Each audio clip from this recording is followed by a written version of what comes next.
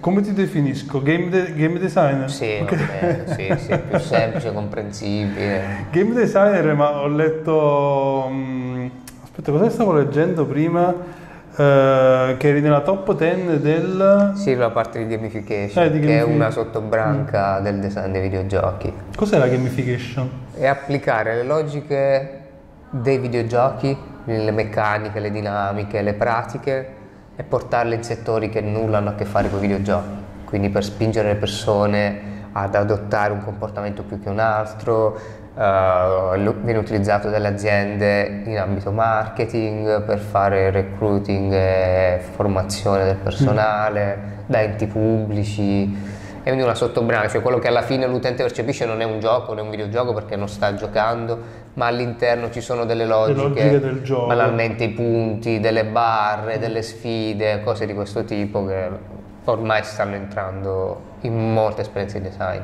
Beh, quindi tu sei fondatore di Tuo Museo, che è una realtà che in realtà cerca di fare proprio questo, cerca di mettere in mm. relazione il, l'idea di gioco, le regole che stanno alla base dei videogame in ambito culturale. Sì, è nata con una sfida, che è quella di far convergere due mondi apparentemente lontani tra di loro, la cultura e i videogiochi da una parte perché noi proveniendo dall'industria dei videogiochi riteniamo che questo media sia di per sé un'espressione culturale e artistica, però questo certo. è un obiettivo a lungo termine, certo. ci vuole ancora tempo in Italia, quindi Siamo io non ne, parlo, non ne, parlo, quasi mai perché giustamente mi guardano male.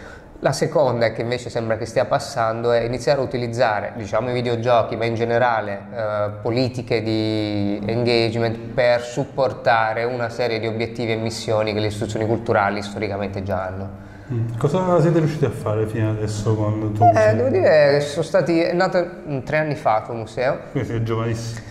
È stata una bella galoppata eh, che poi si è tradotta in una serie di, di progettualità concrete, Father and Son, Firenze Game, eh, Past for Future, eh, poi c'era il portale Uh, Mai Lombardia che all'interno di un bando che avevamo vinto per connettere il sito UNESCO con delle logiche di gamification, uh, una parte dell'allestimento del Museo di Tuoro in Umbria, quello della battaglia di Annibale, mm-hmm. dove chi si reca ora trova un cinema 4D, quindi con le sedie che si muovono e quant'altro, con un video da guardare in 3D attraverso degli occhialini collegato ad Annibale, la battaglia di Annibale mm-hmm. sul Trasimeno. La particolarità di questo video, al di là della sala 4D, eh, è che tutto questo video è stato realizzato utilizzando uh, Rome Total War, che è un videogioco della Siga commerciale. Abbiamo chiesto il permesso alla Siga di entrare, abbiamo rimodificato le ambientazioni, abbiamo dislocato gli eserciti in accordo con il direttore del museo e quant'altro, abbiamo ricreato 10 minuti di video in meno di due mesi utilizzando un motore che già esisteva. Ora stiamo per uscire con due nuovi videogiochi a marzo, eh, ancora non sono stati comunicati ma sono per altrettante istituzioni culturali, uno sarà per un teatro, ed è la prima volta che un teatro produce un video, sarà molto diverso mm. dagli altri però è per un teatro nazionale, l'altro invece riguarda un territorio, uh, un popolo e un territorio. Questi diciamo due progetti stiamo lavorando su Father and Son 2. Ah, io ho provato a giocare con Father and Son. Ah, un primo. Eh, no, stata, com'è nata questa cosa col Museo Archeologico di Napoli? Cioè è abbastanza particolare che un museo del sud poi fra l'altro sì. si apra una cosa del Ma... genere. Il sud in Italia è forse la... Mm il mondo più chiuso verso sì. questo genere di novità. È stato particolare anche perché noi eravamo proprio appena nati, il videogioco è uscito nel 2017. Ovviamente per, uh, considerando i cicli di produzione di un videogioco, mediamente sono 7-8 mesi, uh, lo sviluppo è partito mm. ad agosto 2016, noi eravamo nati credo un mese prima, ci chiamano loro. Penso. Noi avevamo appena vinto questo bando, cioè, il tuo museo nasce per un motivo, perché abbiamo vinto un bando chiamato Innovazione Culturale di Fondazione Caribo, altrimenti il tuo museo non sarebbe mai nata, nel senso che io gestisco altre società che però utilizzano i videogiochi ma in ambiti completamente okay. diversi e così tutte le persone che oggi stanno lavorando in tuo museo. Quindi è stato veramente la scintilla per metterci insieme attorno a un tema comunque particolare. E eravamo appena nati, ovviamente io stavo iniziando a partecipare ad alcune conferenze, avevo scritto dei primi articoli, quindi un pochino iniziava a circolare, però non esistevano esempi concreti. Certo. Non che videogiochi e musei non siano mai esistiti in senso assoluto, esiste una, un'ampia letteratura di giochi per la didattica museale, giochi fisici, mm. ma anche alcuni esempi di giochi digitali, di edutainment. Però quello che eh, noi volevamo provare a fare era ribaltare la logica, cioè che i musei si facessero publisher di giochi in grado autonomamente di stare sul mercato, di piacere a un pubblico che non è per forza, e anzi quasi mai ormai coincidente con quello di che visita il museo. Certo. Dobbiamo andare a intercettare nuove fasce nuovo, di pubblico. Nuovo target. Che magari persone che non, che non conoscono né il museo, né Napoli certo. nel caso specifico, né l'Italia, ma che lo trovano sugli store e così come scaricano Fortnite piuttosto che Candy Crush, decidono di scaricare questo gioco perché sono incuriositi dalla trama, dalla grafica, dalla storia e quant'altro. In questo caso il museo attraverso eh, il direttore Paolo Giulierini e il professor Ludovico Solima eh, avevano inserito nel piano strategico la dicitura che, che, tra le tante attività da svolgere nel quinquennio ci sarebbe stata anche quella di un gioco, non meglio specificato. Ah, quindi l'idea che è partita da loro? Sì, assolutamente partita da loro, nel senso che c'era gioco, poi il gioco si può declinare in 10.000 modi, può essere una caccia al tesoro, può essere sì. un gioco fisico, può essere un gioco... ma hanno chiamato e abbiamo iniziato a svolgere una serie di riunioni. Era l'estate del 2016, al termine di queste riunioni è venuto fuori un brief quindi almeno quali erano gli obiettivi che il museo voleva raggiungere, molto cambiati rispetto a, alle prime riunioni, perché si è capito che il gaming e in generale tutto ciò che è digitale ha molto senso se lo si dimensiona almeno in una scala europea. Certo. Uh, non ha senso svilupp- per me, tranne casi specifici, per obiettivi specifici, utilizzare il digitale per andare a intercettare un pubblico che già hai, che già che entra, già perché è un depotenziamento dello, dello strumento. L'altra cosa che, di, su cui ci siamo trovati tutti d'accordo ed è anche uno dei motivi fondanti di tuo museo, è noi vogliamo realizzare prodotti che innanzitutto devono coinvolgere le persone e una volta che le persone sono coinvolte proviamo a trasferire un po' di contenuto, anche culturale in questo caso. Allora nel videogioco ci sono alcune opere ma il gioco non parte nel museo, il museo nella scheda nel nome del gioco non viene richiamato, poi ci sarà, ci si andrà, ma solo quando il giocatore okay. inizia a essere coinvolto. E da lì è Quindi nato... lo scopo principale è l'engagement. Eh, sì, era raggiungere nuovi pubblici che il museo non sarebbe mai stato in grado di raggiungere attraverso altre forme di comunicazione, eh, coinvolgere i pubblici, emozionare i pubblici, quindi creare una, un'associazione emotiva tra l'esperienza, se hai giocato and Son, in generale un'esperienza sostanzialmente di tipo emotivo, alla fine è un, un, libro interattivo, un film interattivo più che un gioco guidato da meccaniche dove si vince, si perde, classifiche, cose di questo tipo. E, e quindi generare innanzitutto un posizionamento diverso per il museo, anche come hub di produzione, hub mm. tecnologico, Quell'anno uh, il MAN è stato eletto museo dell'anno da Art Tribune, quest'anno Art Tribune ha scelto Pass for Future come progetto culturale digitale dell'anno. E quindi attraverso una serie di articoli di stampa, di paper, di, è diventato case study a livello MIBAC e a livello europeo, il MAN si è riuscito a, ha iniziato a riposizionarsi, poi da lì sono partire tutta una serie di altre cose. Ed è uno degli obiettivi quello di rendere il museo accessibile a chi fisicamente non è nel museo. È un, un ulteriore mezzo per creare accessibilità. Era un modo, è stato un modo anche interessante, il gioco è disponibile in sette lingue, per aprirsi la strada in territori dove sarebbero arrivate delle mostre. Faccio un esempio la Cina. Si è deciso di puntare molto sulla Cina, gioco in cinese, sono fatto una serie di azioni di comunicazione perché l'anno dopo il MAN avrebbe prodotto una mostra che sarebbe andato in Cina. In Cina. Mm. E il videogioco è stato il primo elemento di contatto col mondo dell'Italia e il videogioco era presente pesantemente negli allestimenti di questa mostra. Perché le persone hanno prima conosciuto il videogioco, è stato più facile e poi ovviamente una delle cose che poi ho imparato da questa avventura, noi ovviamente tendiamo a essere autoreferenziali, ma il giocatore del Bangladesh, dell'India, della Thailandia, del cinese, non solo non sa nulla del MAN, certo. ma non sa nulla dei romani, ma non sa neanche fisicamente dove si trova l'Italia. Questo l'abbiamo visto certo. poi da una serie di dati, cioè non sa che l'Italia è nel Mediterraneo, che si trova in una certa parte del mondo. E quindi queste operazioni possono servire a creare una prima cornice all'interno della quale va un'attività più verticale di, insomma, gestita direttamente dal museo. Cioè quindi un potentissimo strumento di marketing diventa. In questo caso è stato per loro anche un forte strumento di marketing, ha un costo che se andassimo a suddividere il costo dell'operazione mm. per il numero dei giocatori uscirebbe una media del tipo 0,00 qualcosa di costo, chiamiamolo così, di, di coinvolgimento certo, dell'utente. Certo. Anche perché rispetto a un video o una brochure il videogioco richiede per forza una partecipazione attiva, quindi anche i conteggi sono tipo diversi. Il videogioco deve essere innanzitutto scaricato e continuazione attiva, non è un video che vedi in metropolitana. Esatto dove si conteggiano, sono stati 50.000 visite, ma magari eri distratto. Esatto. Non... non... sai se l'hai visto tutto. Esatto. Il videogioco quantomeno devi averlo tu scaricato e poi noi abbiamo dei dati e iniziato. Poi c'è chi lo finisce, chi ah, si fa a un certo punto, poi anche lì sono delle segmentazioni. Quindi quello è stato, abbiamo imparato molto.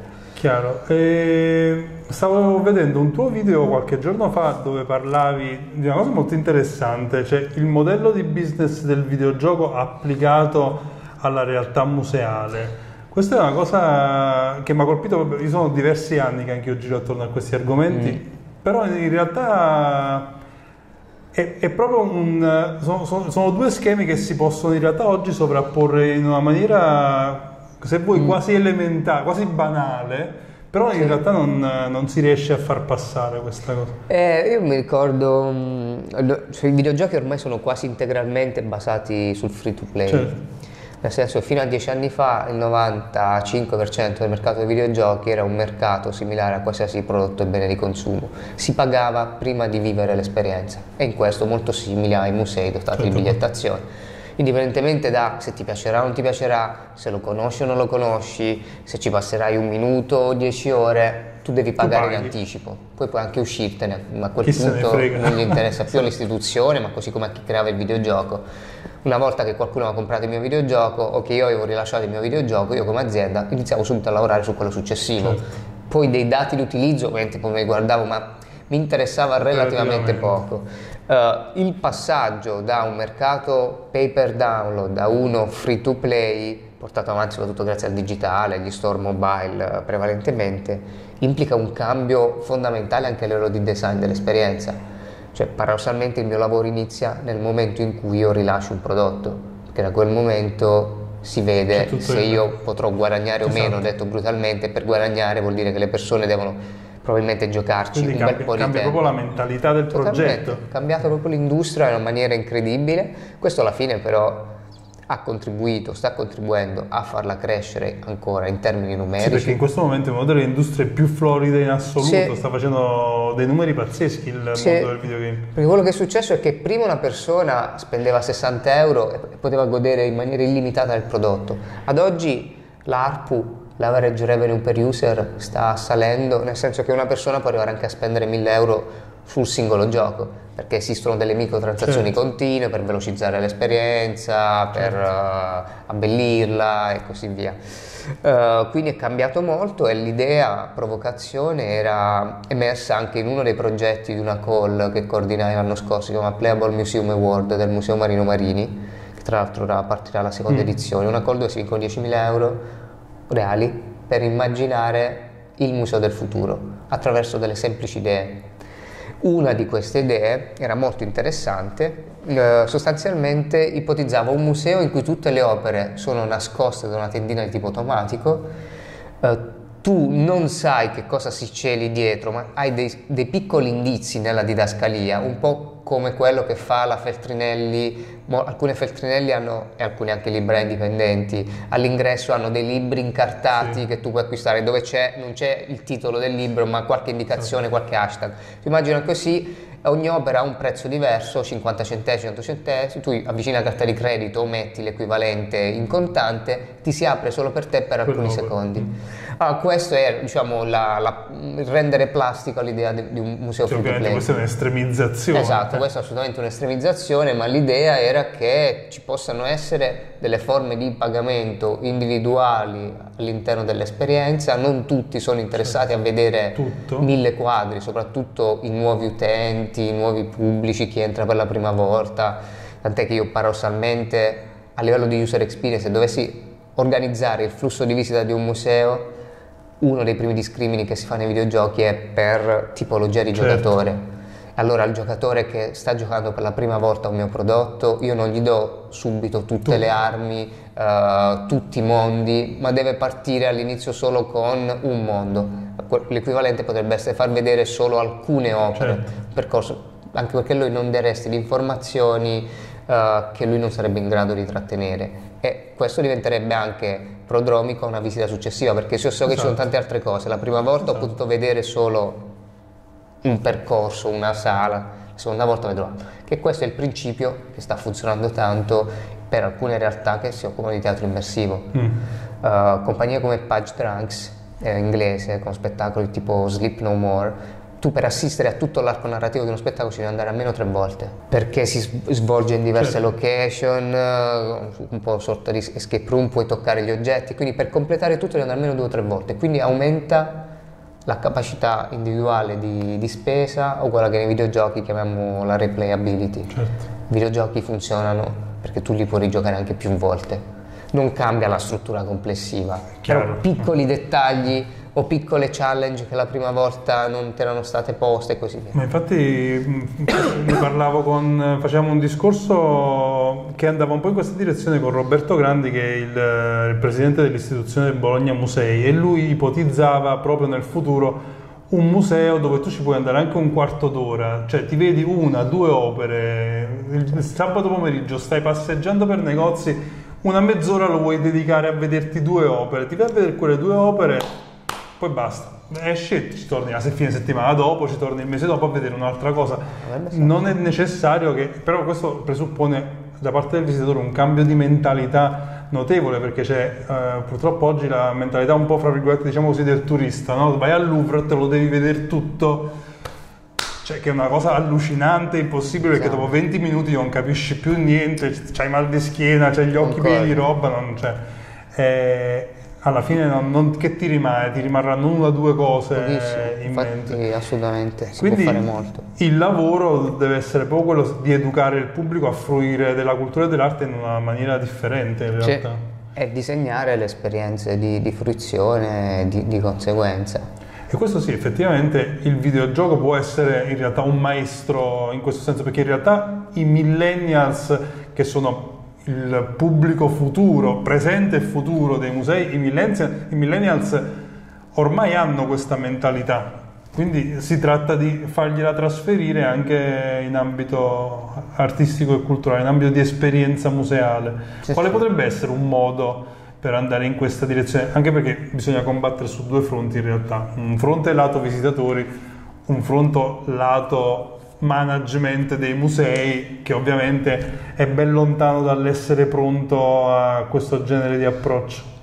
Eh, la sfida è oggettivamente immane perché se sono veri i dati Istat noi sostanzialmente non abbiamo pubblico culturale o comunque estremamente rarefatto nel segmento under 25, mm.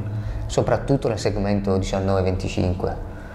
Uh, ad eccezione delle biblioteche, su sì, per alcuni discorsi, però diciamo rimanendo più sul teatro, aree archeologiche, musei, con detto, un picco assolutamente negativo 19-25 e nell'età precedente ancora ci sono dei segnali incoraggianti ma sono legati comunque alle deportazioni forzate, certo, gite, scuole, attività didattiche.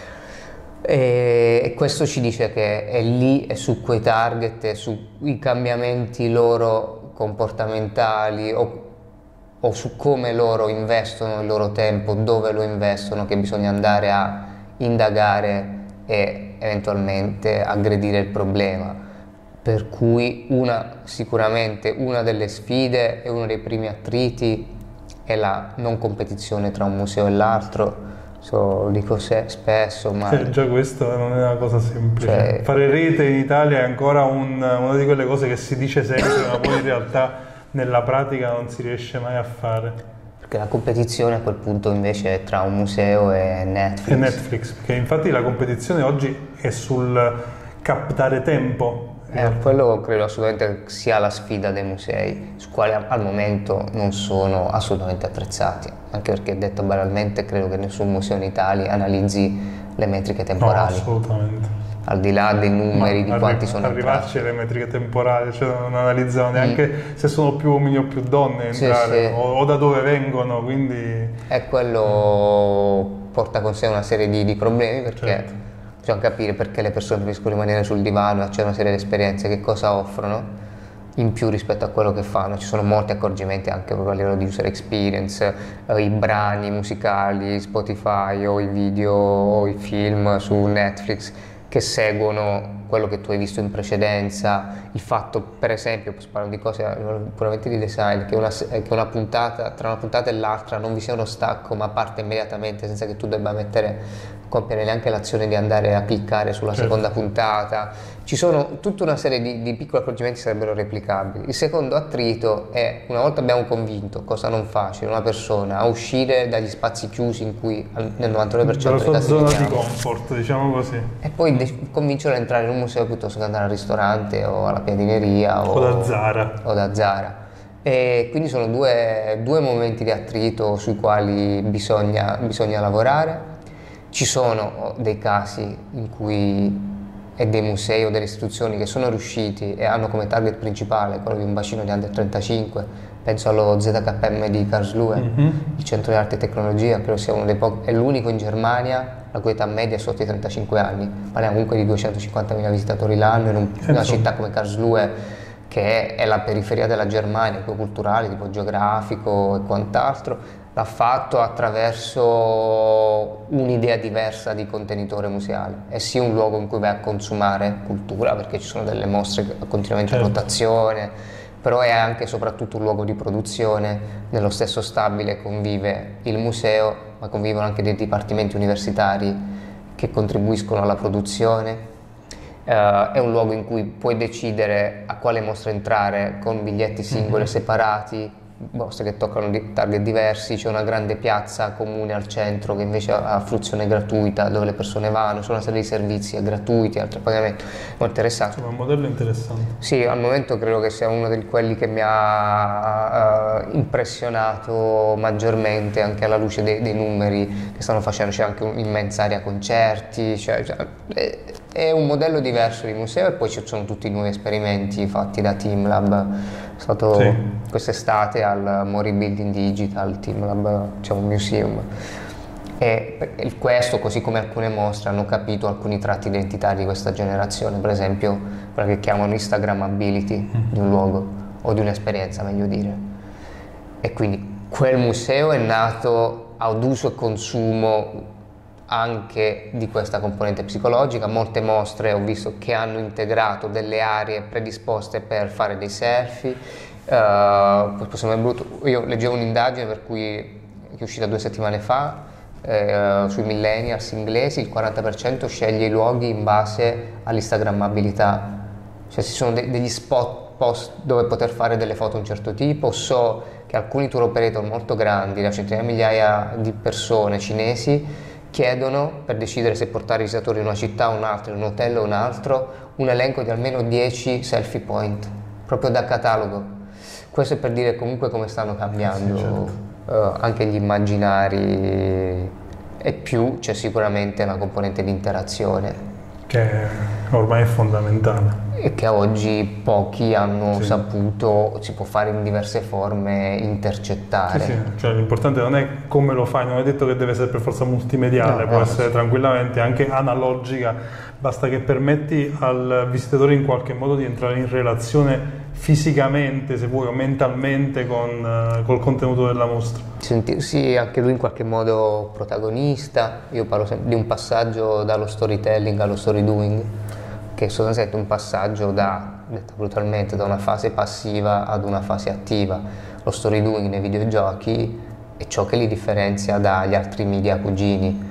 Nel videogioco se non prendi costantemente le decisioni il gioco non prosegue, certo. non, non, va, non, parte proprio, se non premi start ti arriva e ti porta fino a dei finali multipli spesso. Esatto. Infatti questo è quello che un po' le mostre oggi dovrebbero essere, quello che anche io in alcuni progetti che ho seguito ho cercato di fare quello di cercare di dare al visitatore sempre qualcosa da fare per andare avanti, un'interazione, un momento di partecipazione, un momento di decisione anche per poter proseguire all'interno della mostra e non uh, vedersi la mostra come al solito in modalità passiva, come se stesse davanti a una televisione o davanti a un... Uh... Mm. Eh sì, quella credo sia una, una delle sfide non facili, anche perché larga parte dei nostri musei sono ancorati a con una sì, grande fisicità. ancora dell'Ottocento, ma gran parte dei nostri musei. E abbiamo una grande fisicità anche dal punto di vista degli, degli oggetti e questa sovrabbondanza sicuramente ci ha invitato meno a riflettere su componenti aggiuntivi. Abbiamo così tanto sì. rispetto ad altre nazioni dove sono dovuti interrogare. Esatto, su, cosa, su come fare. Su come... Invece noi ci siamo un po' seduti sul, eh, su sì. quello che abbiamo. Quindi il videogame in realtà potrebbe avere una doppia valenza, da un lato quello di modello, da un lato quello di modello di business proprio a tutti gli effetti, da un lato quello di strumento di marketing sì. Come può guadagnare il museo direttore? Adesso per convincere il direttore del museo più no, restio, dice vabbè io devo investire tutti questi soldi in videogame, che ritorno economico ce ne ho subito? È possibile creare un sistema per cui possa anche essere uno strumento di guadagno sì, diretto? Ci per, possono essere tante modalità. Per il museo publisher? Io sono per, mm, assolutamente convinto che la tecnologia non dovrebbe essere mai un costo ma è un'opportunità, ti apre potenzialmente delle opportunità, quindi già è un passaggio logico, mentale, procedurale rispetto a una concezione anche italiana della tecnologia applicata ai beni certo. culturali come qualcosa che via un bando, via un finanziamento, io sviluppo la tecnologia, te la do e poi sono sostanzialmente questioni tue, la tecnologia quindi è un costo. Sì poi può essere utile per tante cose, su questo ovviamente non, non si discute. Uh, il cambio di prospettiva che la tecnologia non può e non deve essere un costo e quindi sin dal day one l'operazione va costruita in un clima di partenariato pubblico-privato, quindi non ci può più essere la logica del capitolato a cui segue la tecnologia, uno perché è tutto così veloce quel capitolato già dopo sei mesi è sostanzialmente certo. infattibile e perché la tecnologia richiede abbiamo detto all'interno di questi paradigmi che stanno cambiando, che il lavoro inizi nel momento in cui la tecnologia viene messa a disposizione del pubblico, lì iniziare a analizzare i dati, fare aggiornamenti. Quindi, quindi è un lavoro di, di medio-lungo termine. Per forza, paradossalmente il lavoro inizia quando la tecnologia viene resa disponibile al pubblico, non è la fase di preparazione di deployment della tecnologia. Eh, e quindi anche contrattualmente quella logica dei bandi non può più funzionare. Certo. Tutte le operazioni di cui ti parlavo prima nascono invece in una modalità totalmente diversa, non c'è un bando a cui rispondiamo, ma creiamo un'operazione, sediamo a tavolino, vediamo le risorse, è innegabile che il pubblico contribuisca nella fase iniziale, ma in tutti i progetti stiamo cercando modi diversi per garantire una qualche forma di ritorno diretto o indiretto. Nel caso specifico del Museo Archeologico Nazionale di Napoli eh, si è scelta un'opzione indiretta, ovvero tu puoi giocarlo comodamente stando seduto sul tuo divano in Bangladesh, ma solo se ti rechi all'interno del Museo Archeologico Nazionale di Napoli, quindi paghi 12 euro del prezzo mm. del biglietto, sblocchi dei contenuti aggiuntivi all'interno del gioco. Direttamente certificati noi abbiamo circa 24.000 persone che hanno pagato 12 euro quindi vuol dire circa 260-270 mila euro. Ma si riesce a capire la provenienza di queste persone? Sì, noi abbiamo questa, questa serie di dati, noi abbiamo quasi un 30% che non italiani. Quindi non da Napoli venivano, sono venuti appositamente da fuori? Ovviamente quello, questo noi non lo possiamo tracciare direttamente, ma quello che crediamo è che il videogioco abbia contribuito a certo. generare un immaginario turistico certo. nuovo. Andando a leggere, ci sono circa 40.000 recensioni sugli store Apple e Google di quel gioco lì Aspetta. e molti dicono, sono tanti, sono pubblicamente visibili e molti dicono appena avrò l'occasione ci voglio andare. Hanno inserito in qualche modo una wish list mentale. Quindi uno stimolo in più diventa nella, nella, tua esperienza di ricerca turistica. Sì, sì è un luogo cui, di cui ti innamori attraverso un videogioco. Quindi in realtà il MAN in qualche modo lo ha già ammortizzato il costo? Totalmente, del... totalmente. Oltre a tutta una serie di altri impatti, 350 articoli, stampa italiana internazionale e così via. Sì, cioè, cioè, il lato di ritorno di brand, diciamo, da un lato e il lato di ritorno economico. Anche il ritorno economico. Questo è uno dei metodi, su altri prodotti stiamo lavorando su linee di merchandising uh, specifiche, integrate, uh, si può lavorare sulla possibilità di inserire delle audioguide ufficiali a pagamento all'interno però della cornice del videogioco, cioè quando ti trovi davanti a una certa opera, davanti a un certo palazzo della città, in una modalità alternativa di gioco, quindi non più quella okay. narrativa, puoi sentire delle audioguide, magari con la voce però del protagonista del gioco che ti racconta quelle cose. E questa può essere una microtransazione aggiuntiva.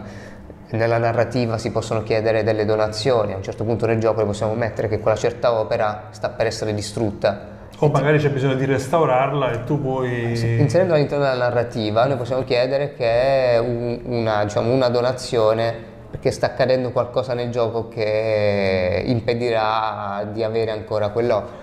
E così via si può mettere un sistema microtransazioni per sbloccare dei livelli aggiuntivi, si possono fare ovviamente delle partnership eh, con aziende per fare in-game placement, quindi un certo punto un telefono che appare nel videogioco, una, mm, seconda di... Quindi ci possono essere varie, varie strade possibili, percorribili, e questo dipende tutto dal, sì, dal Secondo dal te un, um, un'idea del genere potrebbe funzionare anche, diciamo il museo è un'istituzione che sta lì nel tempo sì. e quindi è un uh, investimento che riesce ad ammortizzare nel tempo e ovviamente ne analizza i dati in un certo lato di tempo. Sì potremmo applicarlo anche alle mostre temporanee che invece comunque hanno dei, dei, dei tempi molto più veloci. Mostre temporanee ti sì, sì. dico che magari oggi stanno qui domani stanno in un'altra città però Beh. durano magari un anno due sì, anni non di più. Ma io credo che io quindi a progetti culturali specifici. Io credo, ora parlo di videogiochi perché il media conosco meglio ma questa riflessione può essere estesa ad, ad altri linguaggi possono aiutare nel caso specifico che tu segnalavi nelle fasi pre e post, soprattutto per iniziare a creare un interesse intorno, per iniziare a creare dei livelli di coinvolgimento del pubblico attorno sogge- al soggetto principale della mostra, per cui loro iniziano a interagire, uh, si possono bloccare poi anche forme di rewarding, di cuponistica all'interno di questa esperienza, poi entri e vivi l'esperienza diciamo, della mostra e poi magari la continui nuovamente ritornando sul digitale, quindi creando questa sinergia fisico-digitale che è un altro dei temi che ci sta, mm. che ci sta a cuore. Uh, questo, questo, credo che sia fattibile, credo che non venga praticamente mai esplorato perché in generale, ma questo vale anche nei musei, nelle mostre, ci si focalizza sempre su cosa accade nell'asso temporale, nello spazio fisico della mostra, mai nella fase pre. Sì. La fase pre magari inizia a essere lanciata sui social o a Beh, fare della comunicazione. E anche lì perché purtroppo ci sono sempre dei grandi problemi di programmazione eh, che non cioè, si riesce a fare, non siamo in grado di gestire il museo con una forma manageriale tale da avere una visione da qua a 5 anni. Quindi... Programmazione è una parola magica ovviamente perché sono operazioni che richiedono tempo. Sì che impattano a vari livelli di comunicazione, marketing, certo. sviluppo, contenuto. Quindi, quindi, ci deve essere una pur, programmazione e un'organizzazione in grado di supportare questo genere di lavoro. Certo, perché anche il gioco da solo è uno strumento, certo. eh, ha bisogno di una serie di professionalità intorno. Uh, che poi lo comunichino cioè, e quindi è, la, si ripete. Io dico sempre fare un videogioco alla fine è come allestire una mostra, certo. non cambia tanto. Cioè, le problematiche sono quelle, non ci sono le problematiche di tipo fisico, ovviamente sono ci tante, sono altre. eh, sono altre e vanno gestite da una serie di, di, di figure, non solo diciamo, dai tecnici, dai game designer, dai game developer e così via. E quando, quale deve essere un range di budget che un museo ha bisogno di investire in un progetto del genere? Io, diciamo così, eh, contrariamente a come si può pensare, non sono operazioni così costose per realizzare videogiochi, diciamo che intorno ai 100.000 euro si fa tutto, dalla ideazione alla progettazione, alla realizzazione, al rilascio sul mercato. Quali sono i tuoi progetti? Dove, dove, stai andando? I tuoi progetti nel medio periodo quali sono? Come tuo museo ci stiamo indirizzando sulla convergenza fisico-digitale eh, dopo una prima fase caratterizzata da progetti quasi integralmente digitali con piccoli riverberi come la modalità check-in del museo, mm. ci stiamo spostando su quest'idea di far convergere le due tipologie di esperienza, quindi iniziarle fisicamente e continuarle digitalmente o iniziarle digitalmente e continuarle poi fisicamente. Eh, crediamo che sia un territorio ancora poco esplorato in ambito culturale dove ci si focalizza quasi esclusivamente sul fisico e il digitale è quasi sempre un mero supporto sì. a valorizzazione di ciò sì. che si ha fisicamente. Questo anche nella comunicazione. L'idea invece è che si possano o creare nuovi, da zero nuovi immag- eh, immaginari puramente digitali a cui poi tu aggiungi una componente fisica. Uh, per esempio uno dei progetti, ma è questo il, uh, il, nostro focus, è che Father and Son, quindi è un progetto, è un tipo di narrativa che nasce digitalmente, è un, una nuova espressione culturale nata digitalmente e diventa spettacolo teatrale fisico. Uh, e quindi sfruttare la capacità di raggiungere masse, nuovi pubblici del digitale per poi trovare anche sistemi diversi di sostenibilità e di interazione fisica o uh, far convivere contemporaneamente i due aspetti su questo provando a rielaborare per esempio alcuni concetti portati avanti da TeamLab uh, sui quali si possono fare, si può continuare ad innovare.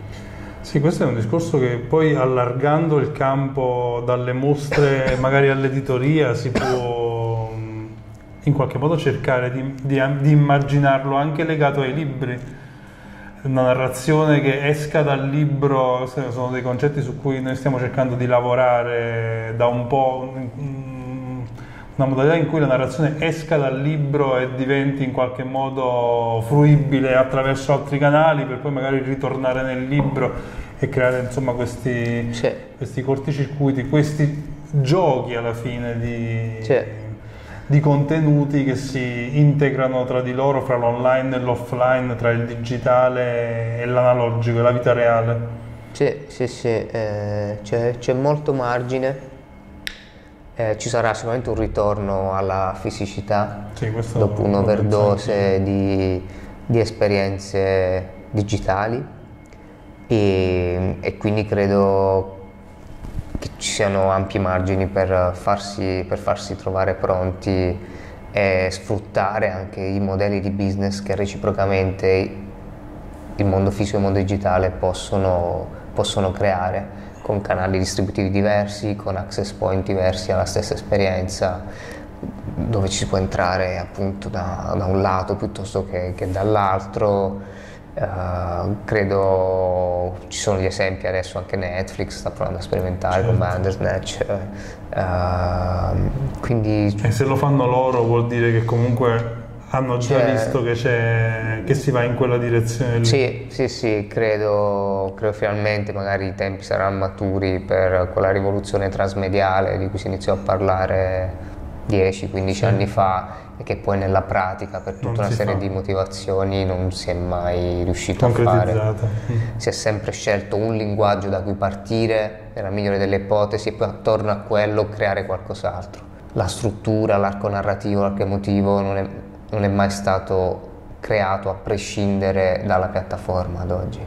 Certo. Ovviamente perché è molto più complesso, devi avere un overview di tutte le possibilità, di tutti i modelli di business adattarlo, quindi oggettivamente non è facile, tante figure professionali uh, diverse. Cioè da un lato non è facile farlo, però in realtà non è neanche facile farlo fruire, perché poi dopo non tutti gli utenti sono pronti a passare da una piattaforma all'altra. Noi per esempio in campo editoriale soprattutto ci stiamo un po' provando, stiamo scomponendo il, lib- il libro fisico classico in tante cose differenti, che so, pubblichiamo il libro tradizionale, poi c'è l'Instabook che è il libro sfogliabile nelle stories di Instagram, il videobook, l'audiobook che ti puoi andare a sentire su Spotify e queste cose stiamo cercando di non duplicarle ma farle eh, essere pezzi di un contenuto globale. La problematica è quella poi di certo. riuscire a spostare l'utente e che l'utente ci sia su tutti i differenti canali. Sì. Se no si perde dei pezzi. Eh, eh, a meno che la struttura non venga concepita in maniera tale eh, da rendere in qualche modo ogni piattaforma, cioè ogni linguaggio autoconcludente,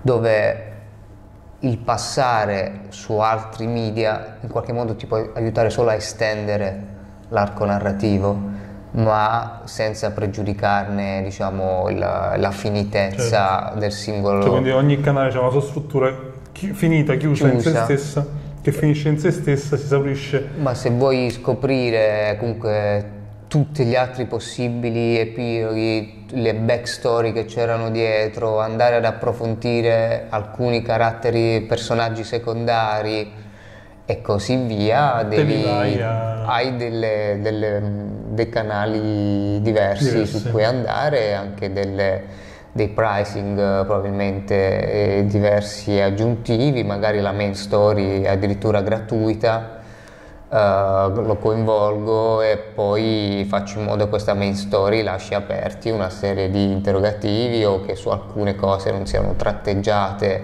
in maniera super dettagliata e che io possa interagire con quel personaggio su un'altra piattaforma, se, mentre nella prima l'ho sostanzialmente subito e to, si può forse lavorare su questo. Insomma c'è, c'è tanto veramente su cui lavorare, su cui riflettere mm. su questi argomenti qua. Sì, non facile. Non facile, sì. Non facile, però decisamente affascinante Beh, mm. e necessario, che mi verrebbe da dire. Beh, sai, si tratta di andare comunque a occupare per primi un, un segmento che potrebbe avere una sua fetta di mercato. E il problema è strutturarsi, strutturarsi per primi e chi si strutturerà per primo avrà un vantaggio competitivo significativo. Fabio, io ti ringrazio Grazie di questa chiacchierata e speriamo di rivederci magari fra un anno e capire quali Vediamo sono stati successo. i passi avanti fatti in questa direzione. Eh, speriamo ci siano, grazie a te. Grazie mille.